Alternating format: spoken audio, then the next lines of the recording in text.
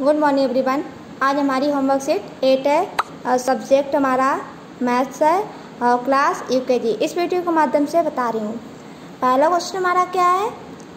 जैसे जैसे लॉन्ग और शॉर्ट मतलब लॉन्ग मीन्स क्या होता है? बड़ा होता है, लंबा और शॉर्ट मीन्स छोटा। जैसे इसमें क्या है? Question number one colour the long pencil yellow और एंड शॉर्ट पेंसिल रेड मतलब इसमें जो लॉन्ग पेंसिल है, उसमें येलो कलर करना है।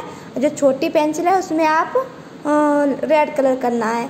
जैसे ये इसमें पीला कलर करना है और इसमें लाल कलर करना है। इस तरह से ये करना है। Question number two colour the long cup green and short cup blue इसमें जो लॉन्ग कप है, आप ग्रीन कलर करोगे, हरा कलर करोगे और जो छोटा कप है, उसमें आप ब्लू कलर करोगे और ब्लू कलर नीला कलर करना है। इस तरह से करना है। Question number three cross the shorters vehicle इसमें आपको क्या करना है? जैसे ये ये वाहन है वाहन की नाम है वाहन है। तो इसमें आपको क्या करना है? जैसे जो शोट मतलब में छोटा जो शोट है, आप क्रॉस का निशान, तीनों में से कौन सा छोटा है, उस पर आप क्रॉस का निशान लगाएँगे। ये इस तरह से करना है। Question number four write one two hundred counting, one से लेके हंड्रेड तक काउंटिंग लिखना है आपको इसमें। इस तरह से ये करना है। Thank you.